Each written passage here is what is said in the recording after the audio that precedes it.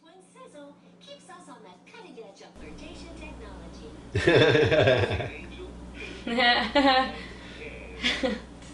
My two favorite things are it's funny. and changing myself. what? I was just saying it's funny. Yeah.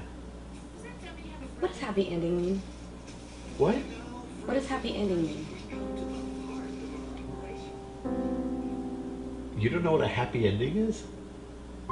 Like, like I don't. I know it's a thing, I know it's like a sexual thing, but you don't have to tell me. It's done. No, okay, it's no big deal. Uh, happy ending is Wait, like. have you had a happy ending? No, I have not. Do you, Do you want a happy ending? Hold on. Do you even know what it is? That's what I. No. It's like when uh, a guy goes to a massage, gets a massage. Like, especially in the old days, they would go and get a massage. And Wait, what do you mean old really- days? What do you like mean the old days? 50s. The 1950s? Yeah, it really wasn't a massage, it was really a front for prostitution. The ladies would give the massage first to still keep up the appearances, and they would finish with a rub down below.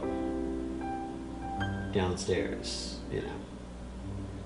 A rub down there till you ended happily. Ugh. It's disgusting. What is wrong with you men? That is gross. This is a gross guy. it. It's a guy thing, I guess. I know. I know. It's a gross guy thing. I can't defend it.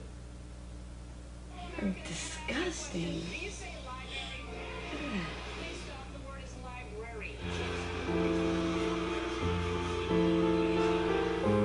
That a woman's uterus falls out of her vagina when she gets old? Oh my god.